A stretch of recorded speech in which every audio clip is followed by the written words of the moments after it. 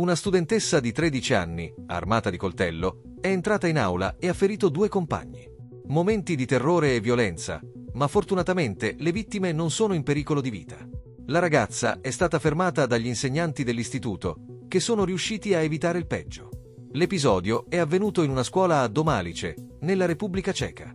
La tredicenne ha accoltellato due compagni di classe, ma l'intervento tempestivo dei docenti ha impedito una tragedia, come riportato dalla televisione CT24. La polizia ha arrestato la giovane aggressora e ha ricostruito i fatti. Secondo le prime informazioni, una delle studentesse ha attaccato i suoi compagni di classe con un coltello. Due bambini sono rimasti feriti e i loro genitori sono stati informati. Abbiamo arrestato la sospettata nel giro di pochi minuti. I due studenti feriti sono stati dimessi con prescrizione di cure domiciliari. Un altro ragazzo, scosso dall'aggressione, è stato affidato ai soccorritori. Grazie per la visione. Iscriviti al canale e attiva la campanella, per noi è importante. Resta sempre aggiornato.